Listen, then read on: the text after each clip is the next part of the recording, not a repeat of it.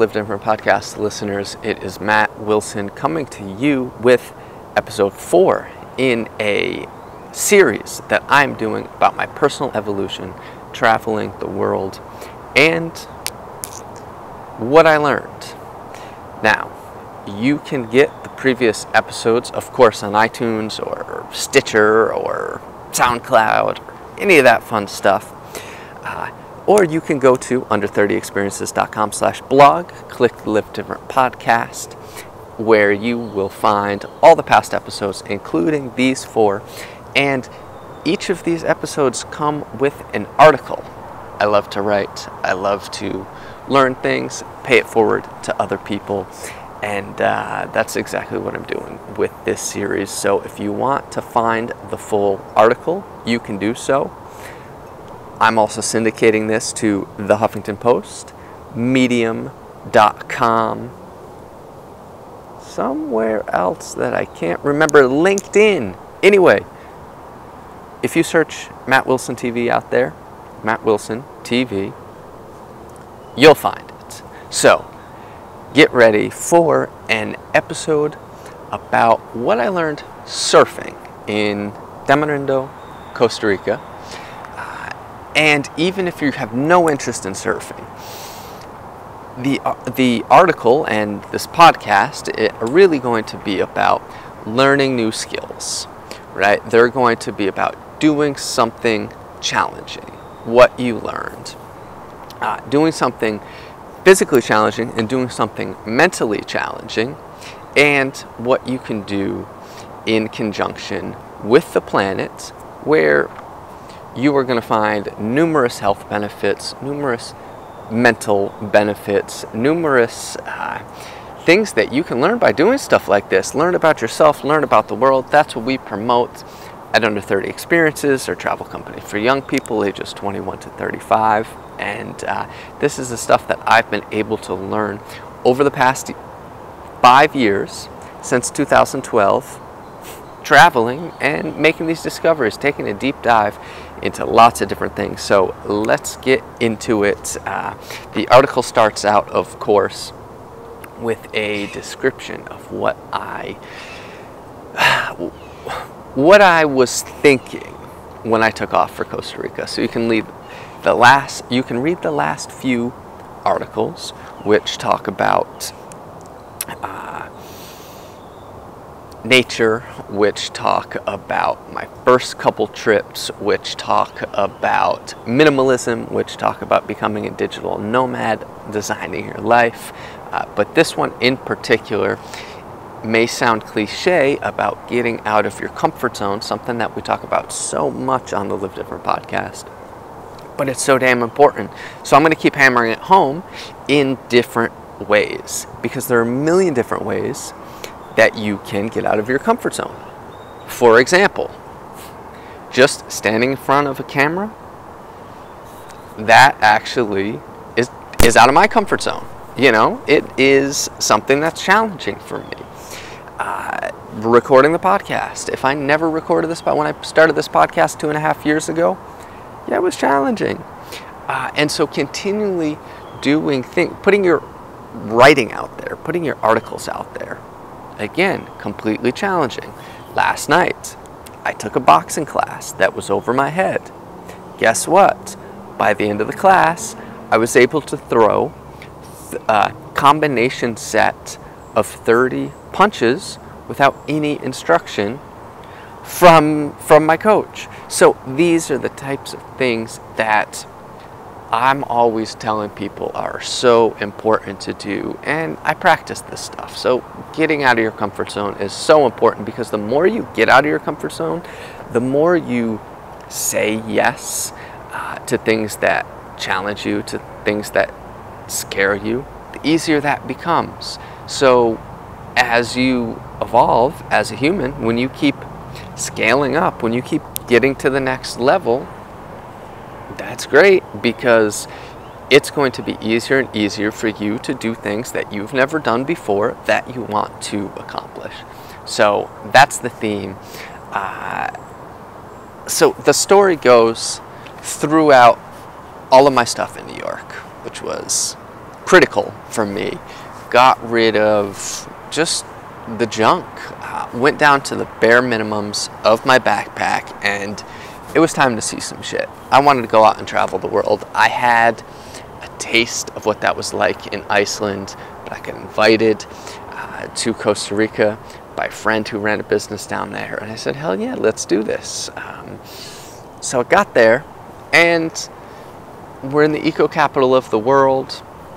5% of all the world's biodiversity lives in Costa Rica. Uh, again, this was July or August 2012.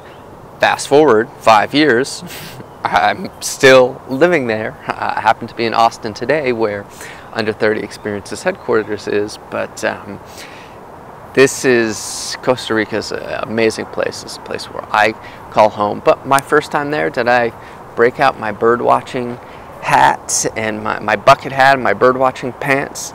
No, I went to go surf. So I went to the most gringo town there is, Tamarindo, uh, which I've not been back to since 2012. Just as a side note, it's a little too crazy, a little too much partying, a little too much uh, aggressive surfers, etc. But uh, my goal was to learn a new skill. That keeps you mentally fresh. That keeps you forming actually new connections in your brain through a concept called neuroplasticity, where, okay, there are all these neural pathways in your brain, and you need to exercise them. You need to try new things mentally in order to uh, continue to grow and in order to continue to stay sharp in order to continue to make yourself smarter uh, as a human because I want to see an upward slope. I want to see an upward evolution in myself and not, uh, you know, peak out at the age of 30 and then it's all downhill after that. Uh, so I went to Costa Rica. I learned how to surf, but it was not easy. Um, yeah, it was not easy at all. So, a couple things. Uh, one thing is that it is physically challenging. Um, so that's very important to, to note, right? So it's physically challenging, and the waves are fucking huge there. So trying to get out, uh, even to the wave sometimes, right? Past the past the white, past the where the wave breaks, very difficult. So you know you would just paddle out there and get hammered on sometimes by these waves. Just get completely thrashed, uh, lungs full of water, you know, all the stuff that you think in, in pretty hardcore surfing. I mean, that's what it is. And that was, I had surfed maybe a dozen times or something like that, but uh, it was tough. So I went out and tried to do something again that I was not comfortable doing, but something that was going to at the same time give me a really good workout and uh, and scare me a little bit. So that's my advice for you guys. If you guys are looking to go and get out of your your comfort zone, is like I said, pick up boxing, pick up uh, anything where you have to do something mentally and physically at the same time and it scares you a little bit, you don't have to go surfing. I don't care what you do, but get out there and, and try something new. Uh, I can't recommend it any anymore. So, um, you know, going through this a little bit more, uh, one of the things that I really wanted to do as well is do something in conjunction with the planets.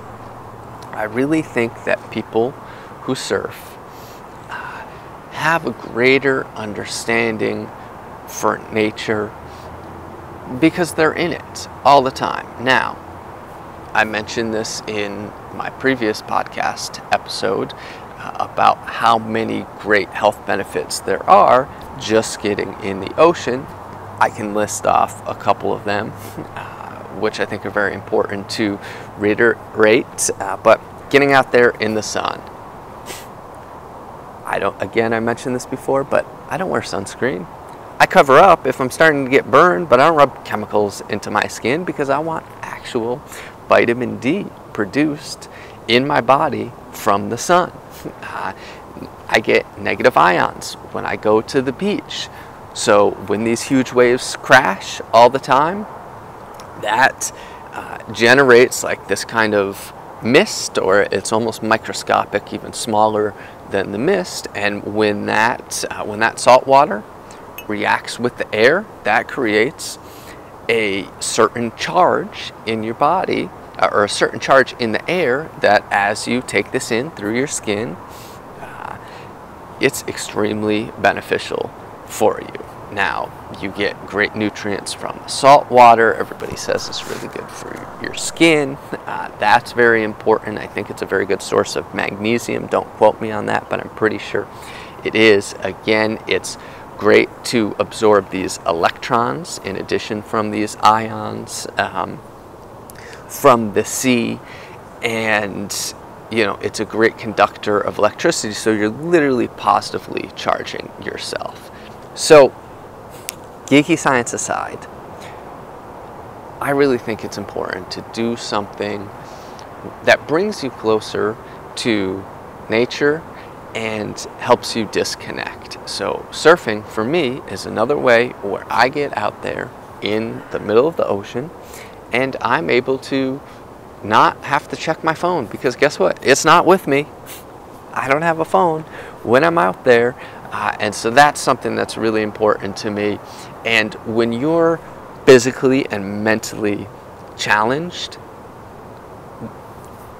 you are sucked into the moment.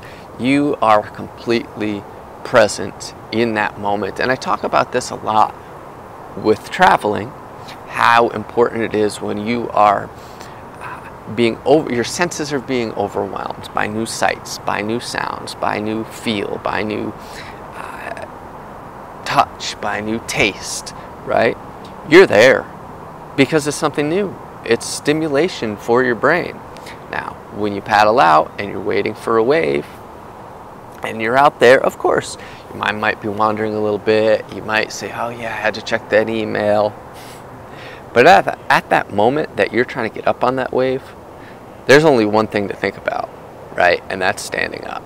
You are not going to be thinking about that Eh, you're not going to think about anything else. So I find that extremely uh, meditative. And I think that's so important to be able to find activities where you can disconnect from our busy uh, 21st century lives and you know, again gain a deeper respect for the planet. Um, you know, surfing, right, can be my gateway to nature. Again, it doesn't have to be yours, but when you really dive down the rabbit hole uh, about what you're doing when you're surfing, you know, I, I believe that there is a certain spiritual aspect to having this conjunction with the planet as well, where you're able just to see, you're able to zoom out, right? Which is what I really try to do during my yoga practice or during my meditation is disconnect and you zoom out. And when you're sitting there and you think about it, right? I think about if you're within your body, right? And you're looking at yourself on Google Earth, and then all of a sudden you just zoom out, zoom out, keep clicking, keep clipping, keep clicking. All of a sudden you see that you're just a little fucking speck in the middle of the ocean. So that to me is is pretty incredible. And then when you zoom back in and you see your little body there in this massive ocean, you realize that these waves have to come up and break in a certain way so that you can literally get on top of the earth and ride it. So when you describe it like that, and then you see that you know you're sitting there waiting for the earth to move so that you can ride it, you get to see the bigger picture. And to me, that's the point, right? The point is to disconnect from all that shit out there, uh, all the notifications and advertising and all this stuff and decide, okay, look, I'm going to try to see the bigger picture and I'm not going to get sucked in into what the rest of the world is is so worried about all the time. And so when you see that, um, I, I, think that's just so incredibly important. And then you can click, click, click, click, click, Google Earth, zoom out, and then you get to see, right, the planet. And you get to see that the tides, which as a surfer, you need to go and check to find out, uh, you know, what what tide is the best for you to go and and uh, paddle out to your certain surf spot, right? And you realize that that's all affected by the rotation of the earth and the seasons and the moon and you can really go down a deep dive into like uh, what the how in conjunction you have to be with the universe right? To go and paddle out at a certain time, to see these waves at just the right time, with the, just the right current, with just the right wind, and you're you're studying the global uh, meteorological meteorological fuck uh, meteorological pattern and uh, yeah, you can really go down the rabbit hole on that. So maybe I sound crazy. I couldn't even say meteorology. But um, hey, look, I am just trying to give people a little bit better perspective that really helped me detach from stress, detach from anxiety, detach from comparing myself to other people, detach from the go, go, go of life, detach from that chatter inside my mind that told me, oh, I should be doing this, I should be doing that. No, when you just go out and try to discover things for yourself and listen to yourself and see what comes up and follow that, that's an amazing thing. I can't, I can't speak any more highly about it. I don't think I have to really go on here for too much longer about this topic.